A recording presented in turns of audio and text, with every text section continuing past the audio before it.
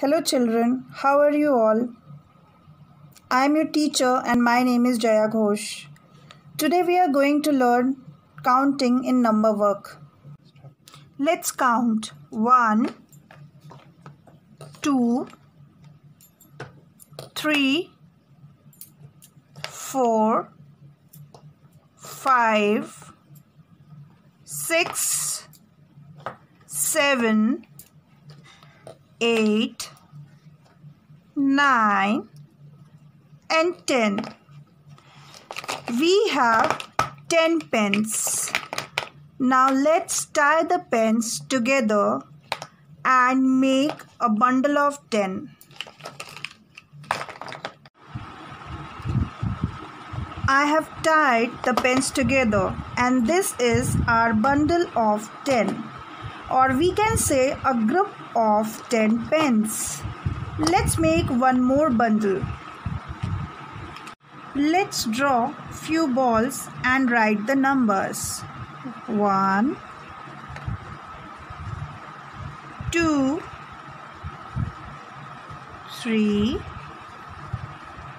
4 5 6 7 8 9 10 11 12 now we have a box full of balls.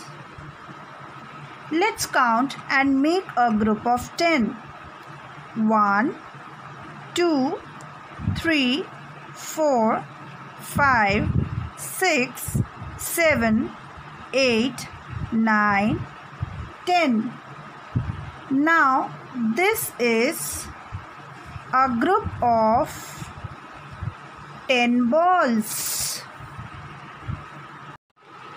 Now tell me children how many group of 10 balls we have? Right, we have 1, group of 10 balls.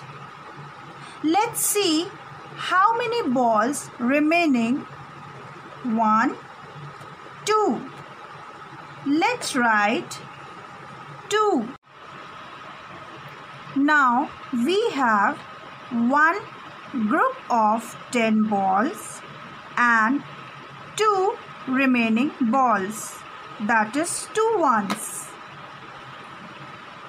Children, now let's learn how to write 1 to 10. Let's write T for tens and O for ones.